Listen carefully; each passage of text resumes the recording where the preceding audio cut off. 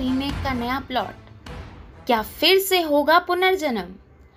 कौन सा होगा फ़िल्म का नया किरदार? नमस्कार दोस्तों, मैं आपकी दोस्त और होस्ट ओशीन गांधी आपका स्वागत करती हूँ आपके पसंदीदा चैनल बॉलीग्राड स्टूडियोज में। आज हम बात करने वाले हैं most iconic film Karan Arjun के बारे में। और साथ ही आपको आज हम इस फ़िल्म की रीमेक की कहानी भी बताएँगे। इसलिए बने रहिए हमारे साथ वीडियो के एंड तक। दोस्तों, करण अर्जुन एक ऐसी फ़िल्म है जो आज भी अगर कहीं आती हुई नज़र आ जाए तो हम देखने के लिए रुक ही जाते हैं और एक दो सीन्स का बोलकर पूरी मूवी ही देख लेते हैं। सलमान और शाहरुख की इस आइकॉनिक जोड़ी को एक बार फिर से देखने के लिए उनके फैंस बेसब्री से इंतज़ार कर रहे हैं। लेकिन इस फ़िल्म के रीमेक पर अभी कोई अनाउंसमेंट या बात नहीं हुई है। लेकिन फैंस को पूरा विश्वास है कि इस बार फ़िल्म का रीमेक बनेगा और सलमान शाहरुख खान के साथ ही बनेगा। तो चलिए, आज हम आपको करण अर्जुन के रीमेक की क्या कहानी हो सकती है वो बताते हैं। सबसे पहले तो जो कहानी का बेसिक प्लॉट है, जिसमें पुनर्जन्म का फंडा है, वो तो चेंज नहीं होगा, क्योंकि फ़िल्म का बैकबोन वही है। लेकिन रीमेक में हमें करण और अर्जुन का भाई दिखाया जा सकता है, जिसका रोल बहुत ही अहम हो सकता है।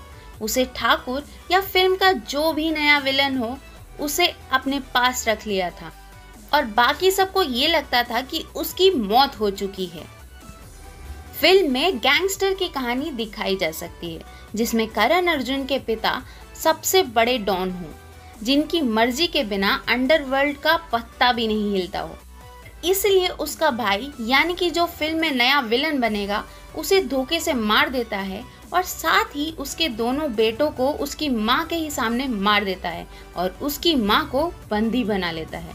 लेकिन सबसे छोटा बेटा, जो उस वक्त सिर्फ़ दो या तीन साल का होता है, उसे वो नहीं मार पाता।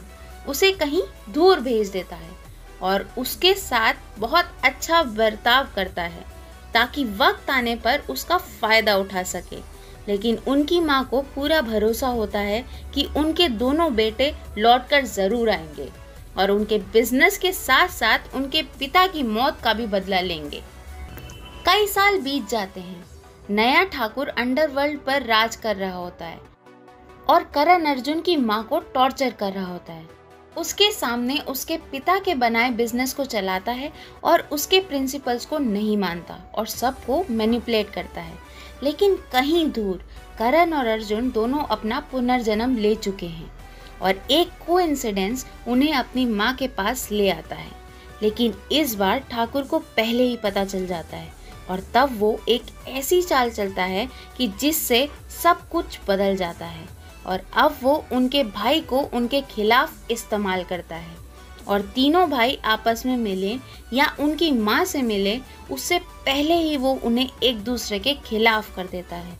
और इस बार हमें करण अर्जुन एक साथ नहीं, एक दूसरे के खिलाफ दिखने वाले हैं, जो एक दूसरे की जान भी ले सकते हैं। तो दोस्तों, आपको क्या लगता है? कि ये दोनों पिछले जन्म के भाई, लेकिन आज के दुश्मन को अपनी सच्चाई के बारे में पता चल पाएगा। क्या उनका भाई ठाकुर की चाल को समझ पाएगा? क्या ये तीनों भाई अपनी माँ से मिलेंगे और अपने पिता की मौत का बदला ले पाएँगे? हमें कमेंट बॉक्स पे ज़रूर बताइएगा। उम्मीद है कि ये वीडियो आज आपको बहुत पसंद आया होगा। ऐसी ही वीडियोस को देखने के लिए बने रहें हमारे साथ बॉलीग्राड स्टूडियोज में। तब तक के लिए नमस्कार दोस्तों।